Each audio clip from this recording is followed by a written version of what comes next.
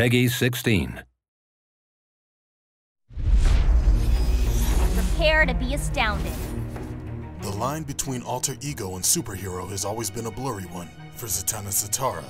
When she's not fighting demonic creatures alongside the ranks of the Justice League, this second generation magician is traveling the world with her one woman magic show.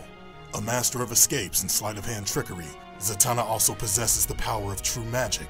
With special incantations, primarily using words pronounced backwards, Zatanna is the go to master of dark arts for the entire DC universe. During 2004's Identity Crisis, Zatanna, then a member of the Justice League, was revealed to have wiped the mind of not only villainous murderer Dr. Light, but Batman as well. This act of blatant mind control sparked a rift between the members of the Justice League, resulting in Zatanna's eventual loss of confidence and powers.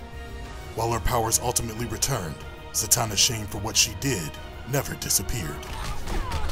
Lately, she's joined forces with other supernatural characters to create the Justice League Dark Team, this group of occult-powered heroes unites characters from both DC and Vertigo universes in order to take on more of the unearthly creatures bent on destruction or supreme control.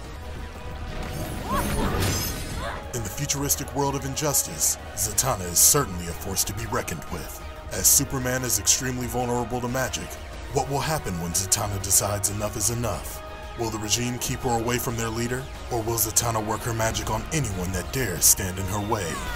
Find out as Zatanna joins the world of injustice, Gods Among Us.